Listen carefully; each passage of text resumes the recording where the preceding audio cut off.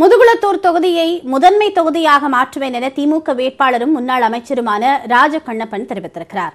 ராமநாதபுரம் மாவட்டம் முதுகுளத்தூர் சட்டமன்ற தொகுதிக்குட்பட்ட சடையநேந்தல் உடையார்குளம் மருதங்கநல்லூர் நரிக்குளம் பசும்பொன் உள்ளிட்ட பல்வேறு பகுதிகளில் ராஜகண்ணப்பன் இன்று தீவிர வாக்கு சேகரிப்பில் ஈடுபட்டார். அப்போது பசும்பொன் முத்துராமலிங்க தேவர் நினைவிடத்தில் ராஜகண்ணப்பன் மரியாதை செலுத்தினார். அவருக்கு பசும்பொன் கிராம மக்கள் சார்பாக ஆரத்தி எடுத்து தலைப்பாகை கட்டி வீரவாள் பரிசாக அளிக்கப்பட்டது.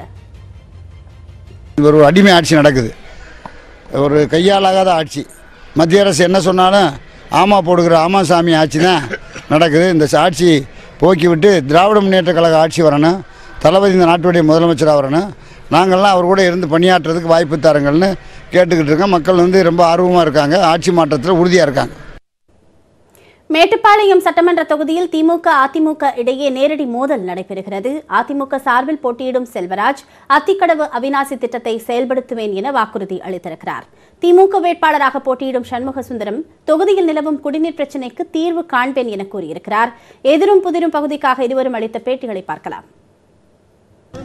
இந்த தொகுதியில் எந்த ஒரு பிரச்சனையும் இல்லை. ஏற்கனவே அத்திக்கடவு ஆனாஸ் திட்டத்தை தீர்ப்பதற்காக நம்முடைய முதலமைச்சர் அவர்கள் திட்டத்தை இர- அத்திக்கடவு அவனாஸ் திட்டம் இரண்டு தயாரிக்கப்பட்டு சர்வேக்கள்லாம் முடிக்கப்பட்டு அரசாணை பிறப்பிக்கிற நேரத்தில் தேர்தல் அறிவிக்கப்பட்டதால் அது தற்சமயம் நிறு- நிறுத்தி வைக்கப்பட்டிருக்கிறது மீண்டும் ஆட்சி அமைந்தவுடனே அந்த திட்டம் செயல்படுத்துவதற்கான நடவடிக்கையை நம்முடைய மாண்பு முதலமைச்சர்கள் எடுப்பார்கள் நெல்லித்துறை நெல்லித்துறையில் விளாமர்த்தூரில் தண்ணீர் எடுத்து நல்ல சுத்தமான தண்ணீரை கிழக்கு பகுதியில் இருக்கின்ற கிராம மக்களுக்கு முதல் வேலை தண்ணீரை குடிப்பதற்கு மனிதனுக்கு தேவை தண்ணீர்.